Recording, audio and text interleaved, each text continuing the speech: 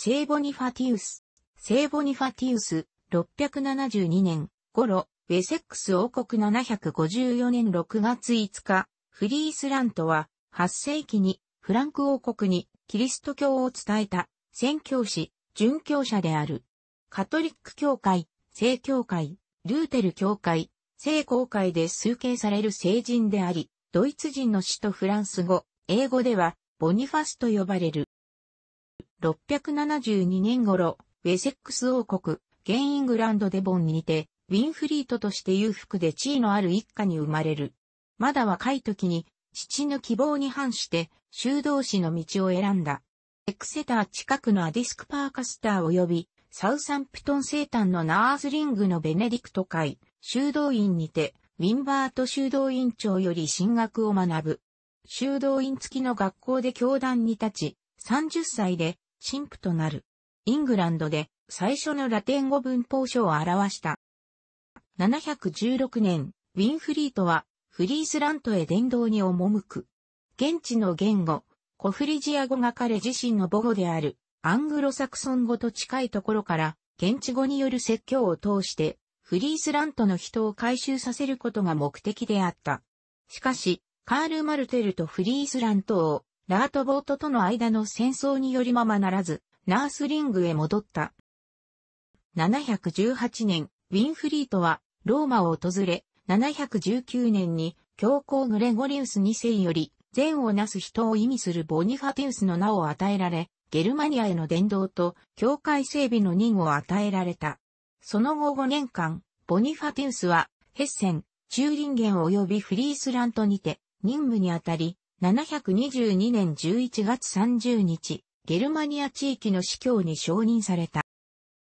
723年、ボニファティウスはガイスマー村、ガイズマー、現ヘッセン州北部のフリッツラーにあったトールへ、捧げられた聖なる多くを切り倒した。この際、預言者エリアを念頭に置き、もしこの木が聖なるものであるならば、自らに雷を落とせと、トールに呼びかけたという。ボニファティウスの同時大臣で、その最初の電気記者となった聖、ウィリボールドによれば、ボニファティウスが多くの古木を切り始めると、まるで奇跡のように突然台風が起こり、多くをなぎ倒したという。トールの雷がボニファティウスに落ちなかったのを見て、人々はキリスト教へと改宗した。ボニファティウスはこの地にこの木から礼拝堂を建て、現在ではここにフリッツランシ教座聖堂が建つ。この後、ボニファティウスはリーメスの北、エーダー川を見下ろす小高い丘に位置するフランク王国の要塞基地に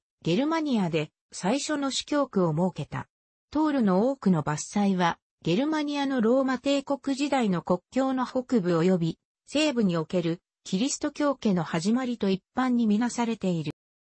ボニファティウスの布教活動に不可欠であったのが、フランク王国の救済、すなわち後のカロリング朝の支配者たちの助力であった。ボニファティウスは723年より、カール・マルテルの庇護下にあり、宮廷内の教育にも関わっていた。サクソン人と対立し、その領土の奪取による王国拡大を目指すカロリング朝の王たちにとって、ボニファティウスによるザクセンの土着信仰の聖地破壊や、キリスト教不教は好都合であった。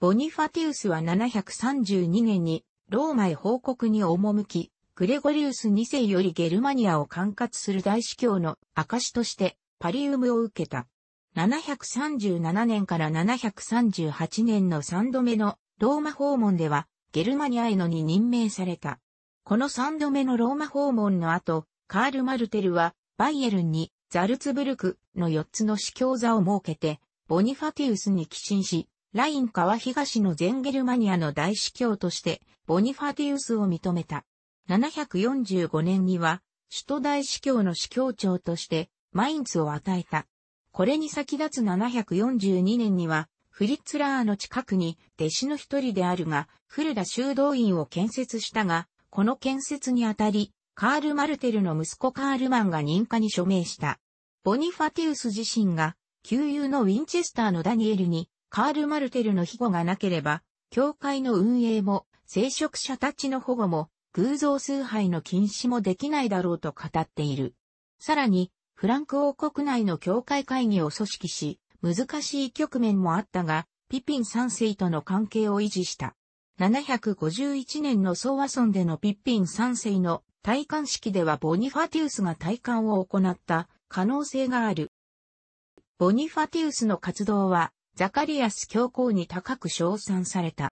カロリング朝の保護を不況に利用する一方で、ボニファティウスは教皇やバイエルンの支配者、アギロルフィングヤとの関係を利用して、カロリング朝からの独立の維持を図った。ビュールツブルグとエアフルトに司教座を設け、司教としての任命権を保持することで、カロリング朝から一定の距離を保った。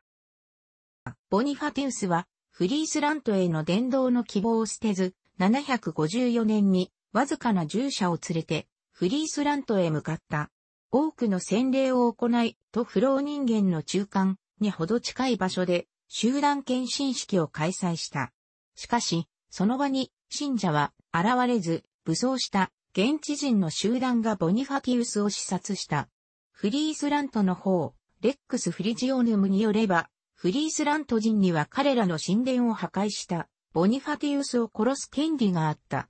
ボニファティウスの伝記によれば、フリース人はボニファティウスの2の中に金や財宝があると思って殺害したが、2を開けてみると中は本だけであったという。ボニファティウスの遺骸はしばらくユトレヒトにあったが、やがてフルダの修道院に埋葬され、現在ではの祭壇下の地下聖堂に墓所が置かれる。エルベ川までのゲルマニアの改修は、8世紀末、サクソンを打ち破ったカール大帝によって完成されることとなる。聖ボニファティウスの祝日は、カトリック教会、ルーテル教会、聖公会では6月5日、聖教会では12月19日である。聖人としての持ち物は斧、書物、泉、狐、多く、カラス、下と、剣である。ドイツでは、ボニファティウスの像として有名なものがに立つ。またフリッツラー司教座聖堂にもより新しい像が立つ。英国には聖ボニファティウスに捧げられた教会が相当数ある。出生地、デボンのカトリック教会には、陽動があり、またクレディトンのニューカムズメドーパークには、ケネス・カーターにいる、トールの多くの伐採の浮き彫りがあり、イギリス王女マーガレットが除幕を行った。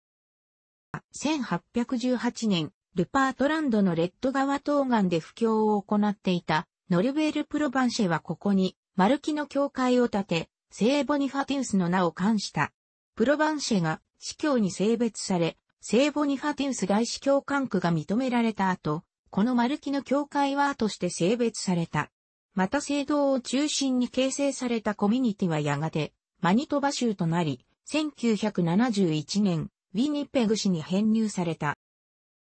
アメリカ合衆国でもインディアナ州ラファイエットに1800年代に建てられた聖ボニファティウス教会があるほか、シカゴにドイツ系移民によって1865年に建てられた聖ボニファティウス教会がある。現在の教会は1903年建造だが、1990年以降使用されていない。